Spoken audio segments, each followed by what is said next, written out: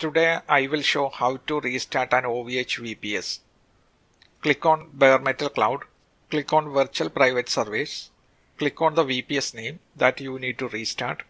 To restart the VPS, click on the three dots on the right side of boot. You will see the reboot my VPS link here.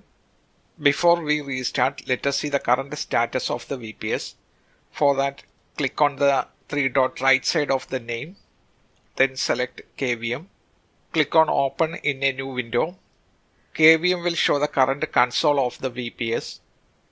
We are now in the login screen. You can log into the server using the username and password here. Let us uh, go back to the OVH console and close this. Now let us reboot the server.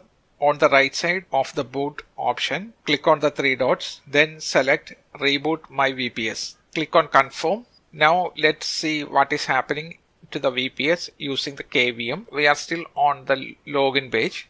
Shortly it will start rebooting the VPS. On OVH console we get a message that the VPS will be rebooted in 2 minutes. Reboot still not started. Now the KVM console got disconnected. The server should be restarting. Let's refresh. Now the server is rebooting. We are back on the login page now the VPS is now rebooted. You can start using the VPS. Thank you for watching. Hope you find the video useful.